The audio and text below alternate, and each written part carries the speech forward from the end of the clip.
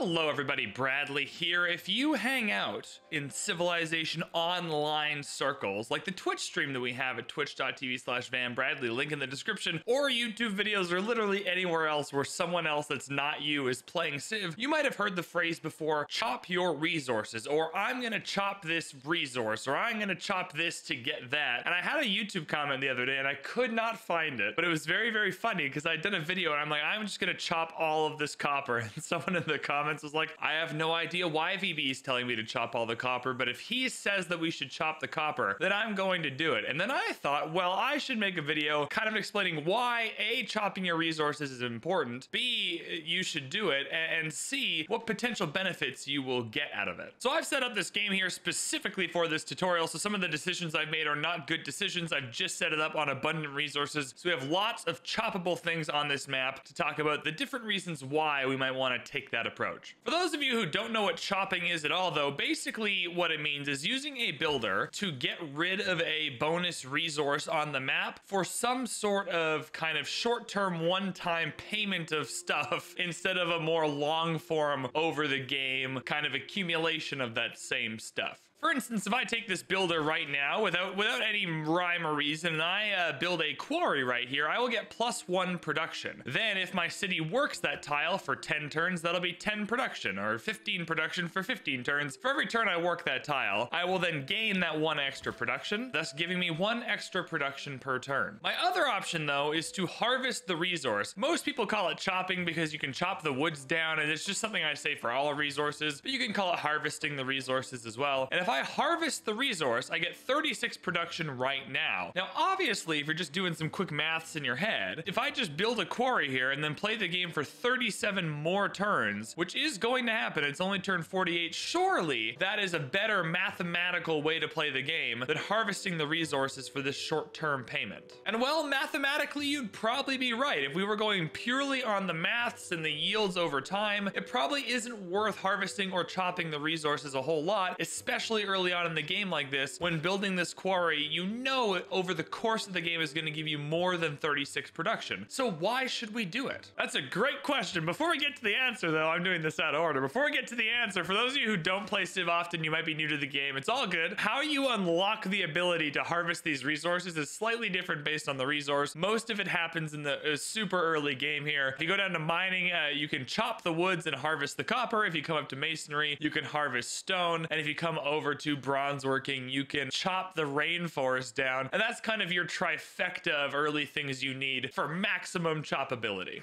or harvestability. Chopability, harvester, what do you guys call it? Let me know in the comments. Always worth mentioning real quick that you can't chop uh, luxury resources or strategic. So I can't get rid of the horses. I can't get rid of the dyes. I can't get rid of the coffee over here. It's just the stone. Uh, I can get rid of the copper as a bonus resource. I can get rid of that. If you got rice kicking around, I can get rid of the rice. I can get rid of this maize here. Bonus resources, good. Luxuries or strategics, bad. Now there are a few key reasons to chop tiles, and there are so many specific instances that I won't be able to get to all of them, but I just want to break down a few of the big reasons why chopping resources is very, very valuable. Now, this isn't to say you should chop every single one all the time, but just knowing what the chop does and why it's important is going to help you in your Civ games make good decisions around your bonus resources. So the first reason, really, really quickly, is just you're not working the tile anyway. If I'm growing this city here, I have five population. I have one, two, three, four, five, six, seven, eight, potentially. Potentially nine tiles that are better than this one right here. So before I even get to this tile, I would need a population of 10 to even start to work it. And by then I may have grown out to some of these tiles and put some lumber mills down or whatever. And so I'm not working this tile anyway. If I just look here, I'm not really working it. I got a couple of more tiles I'm gonna work. So hey, why not just, why not just click this button, chop the stone, get the 36 production and be on my way. That reason doesn't come along too often, but it does come along. You just got a big city. There's some useless tiles then you may as well get rid of what's on the useless tiles for some kind of benefit. The next reason, though, is specific to wonders. Wonders, especially ones you really, really need, right? So we really, really need the Oracle. I've made my whole game plan around it. This could be the Oracle, this could be the Ruhr Valley, this could be the Hanging Gardens, whichever wonder you have picked. You are placing it down and you really need it. Wonders are first come, first serve. Only one person can get this, and presumably, especially if you play on Deity, presumably other people in this game game are going to be going after this wonder. So what can I do to make sure I get this wonder more quickly than everybody else in this game? Because once it's gone, it's gone. I don't get a redo. If I if I miss the wonder, I miss it. Well, we can chop our resources and get all this production. So while mathematically it might make sense over the very, very, very long term to just build this quarry here, get this plus one production and be on my way and end the game with a hundred or whatever extra production. This 36 production right now can be very valuable to secure me something I really need that I'm only going to get one chance at acquiring. The Oracle takes 290 production for us to throw down right now. That is 16 turns. If I chop this resource here and get that 36 production, it is going to take turns off the Oracle. It's going to chop right into it. That took three turns off the Oracle. So yes, I'm giving up over the long term slightly more production, but what I'm gaining is the almost near certainty that I'm going to be able to get the wonder that I want. And the Oracle is a million bajillion times more valuable than a quarry. We are now here at the end of our Oracle production. I'm going to chop one more stone just to make sure I get it. If I leave this two turns, it opens it up for someone else on the map to take this Oracle away from me, which I do not want. And again, the Oracle is so much more valuable than the quarries that I could be putting down here. So chopping this stone here is going to be awesome. It's going to give us 43 production this time. As you go through the game, as you uh, research more techs, the amount of production you get per chop goes up. So late game, you'll be earning more production per chop than you would in the early game here, but we're just going to chop that out. You can do some quick maths if you want to make sure your chop goes towards it. We have 264 production here. We need 290. Uh, 43 will make up that difference. So if we just harvest this resource,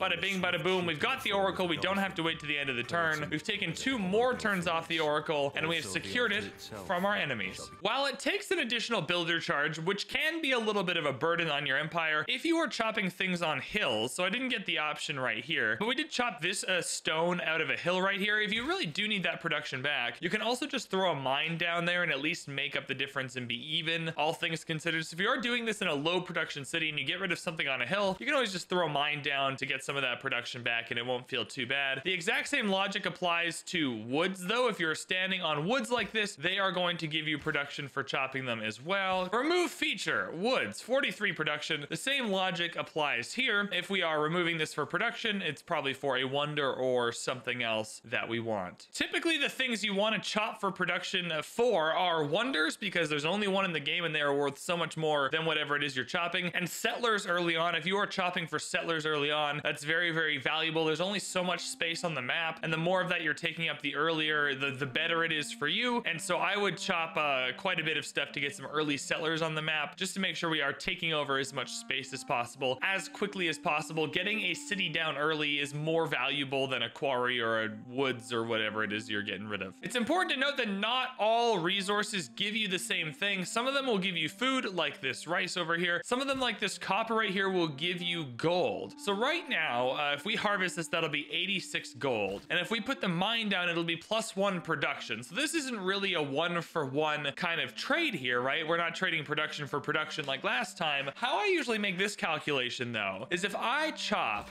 this resource right here, I can still put the mine down for the production, right? I can still get some of the production or at least break even with the production. But this 86 gold right now is so valuable to just getting my early game infrastructure down. If I harvest this here for the gold, I can come here and I can buy a granary in one of these cities. I guess I'm building a granary in every city kind of by accident here. Maybe I can come in and grab a builder. Maybe I can grab an archer to clear a barb camp. Having that big lump sum of gold that I can just spend, maybe I can get, that chop was enough to get four delegations with all of the civs that I meet in this game. Maybe I can get a slinger upgrade. There are so many things that one lump sum of gold is going to be more valuable than the copper, right? So getting rid of the copper for the gold that I can then use on literally anything in the game is more valuable than the copper tile, which I can now just put a mine on and get the production anyway. The next reason you might chop something out of your empire is that you simply want to put something on the tile, but don't want to miss out on the chop anyway. If I were to go right here and I were to build this theater square, let's say I want to build it right here on top of this woods. I click it and I go and build my theater square. It's just going to get rid of the woods. It's just going to get rid of them and I'm not going to get any production. So I might as well harvest the woods, get that 48 production, and at least have that in, in the bank to, to spend on whatever it is I want to spend it on. At this point, it's important to know that if you are chopping for production, it just applies itself to whatever is in the queue next. So if you are not working on anything, right now I've completed the granary, I'm not working on anything, If I chop this woods right now, which we know we want to do because we want to put the theater square here and I want to get the 48 production instead of just missing out. So we are going to chop the woods here. Nothing happened. There was nothing to take turns off like we just had with the Oracle. So where does it go? It goes into the next thing that you pick, whichever it is. So all of these were at eight turns to build. Now they are at five turns to build because all of this chop production just goes into whatever is next in the queue, which means in this case, the theater square we want to build is awesome, but you can, you can, what you can do is you can actually take things out of the queue. If I want to chop this woods, but I don't want it to go to the ancient walls, I'll finish the ancient walls later. What I really want it to go towards is a government plaza. So I want to chop this woods and I want it to go for the government plaza. I will remove the ancient walls. So now they will not go to the ancient walls. I will chop this out for the production. And as you can see, if I go back in, I can finish the walls in one turn now. I can apply that production to the walls. I can also apply it to the government plaza here and have that be that. And, and then I can choose. Then if I go back here, now the ancient walls, let's give it a turn. The ancient walls should be back at eight or six. Yeah, there they are. They're back at six. They're no longer at one because I've used the production for the government plaza instead of the ancient walls. And then when I'm done my government plaza, I can just swap it back like this, or I can swap the walls back early, finish them up, and then get the government plaza anyway. So that was a quick little bit on how to apply the production to the thing you want instead of the thing you're working on. Another more niche reason we may want to chop something on the map is to gain appeal. And this is an example of one of the situations that comes up in all kinds of games where you may want to decide to chop something on the map that I can't cover in this video, but appeal is another one that happens uh, uh, quite often if we're taking Earth Goddess, if we're trying to build national parks, those types of things. I take a look at my appeal right now. This rainforest is giving a minus one appeal to all the surrounding tiles. So this tile right here has an appeal average of minus one. If I were to remove or chop this rainforest here, this should now have an appeal of zero, and it does have an appeal average of zero. So if I chop all these rainforests around these tiles, their appeal will go up. Maybe I'll get my Earth Goddess bonus, Earth Goddess bonus. Maybe I can put a preserve down. Maybe I can put a national park down, whatever it is. That's an example of, of a chop that we're just doing to gain something that's not production, that's not anything else. The bonus though is we also do get the production still anyways. So now I can apply it to an amphitheater or whatever else I would like. Also worth noting that rainforests give you food and production. Half of each. It's not as much production as woods, but it's like a little bit of production and a little bit of food. And then you grow and then you get to build things and it's awesome. Basically what I hope you take away from this video is that chops are very valuable. They seem kind of counterintuitive at the beginning, especially because they cost builder charges and there is a cost to get builders. Builders are not free. There is a cost to get them and you will need lots of builders to complete your chops. So use them wisely, but definitely use them. You should be chopping in every single Civ game to some degree. Use it to gain those wonders that you need. Use it to gain the settlers that you need early on. Use it to get the gold, whatever it is. Just be very, very careful that you're not overdoing it. You don't want to take your whole empire and just erase everything on it for the sake of chopping. I'm pretty happy where I'm at, right? Like I don't need to chop this stone right here right away. If I don't have a lot of production options, maybe I look at these woods here and I go, hey, I shouldn't chop those. I'm going to use my builder charges instead to build lumber mills later and give myself more production. But when I look at these two quarries right here, I'm like, I have so many options. I can put lumber mills here for production. I can put an industrial zone down. I can put lumber mills all over the place. I don't need these two stone. So I'm going to get rid of these. They're in a good spot. I can get production. I can put some districts down. These stones are definitely getting chopped. This copper is definitely getting chopped. These bananas up here, maybe not getting chopped. Maybe I'll build a plantation on them instead of chopping them and get some really nice yields on those tiles. So not everything needs to be chopped just because it exists. Not every bonus resource needs to be removed, but utilizing chops for specific needs in your game can be very, very helpful. Specifically acquiring the things you need, wonder, settlers, whatever those things are, and also for, for putting down districts or putting down other things that take tiles, right? We know we're going to put a theater square here. The woods was there. We might as well chop it and get that production instead of just having it be wasted by putting the theater square right on top of it. Now, there's no way for me to go into every situation that chopping is useful for or terrible for or whatever in this whole entire game, but I hope what this video did do is give you a little bit of an overview of just what chopping is, kind of how to do it, the fact that you'll need builders to do it, but what some of the benefits are, because it does seem kind of counterintuitive, and I hope you left this video going, hey, in my next view, I'm going to try chopping out that wonder. I'm going to try chopping out that settler. I'm going to try chopping something out before putting a district on top and just see how that improves your gameplay because it will improve it. Again, just be a little cautious. This is not a hall pass to just chop everything on every map for no reason. It's got to be specific. There's got to be a reason for it, but mostly a lot of the stone, a lot of the copper, a lot of these kind of extra bonus resources that you're not going to need. Some of the woods, some of the rainforest, they can be removed to give you enough another advantage that isn't having those things on those tiles. If you enjoyed this video, make sure to check out all the links in the description. We have a Twitch stream you should check out as well. We hang out there, we stream a few times a week. It's awesome. Make sure to say thank you to Onvars. Thank you, Onvars, for editing this video. Thank you to you for paying Onvars to edit this video. Let me know what you thought in the comments. Hit that like button, hit that subscribe button. Thank you so much for watching, and we will see you in the next one.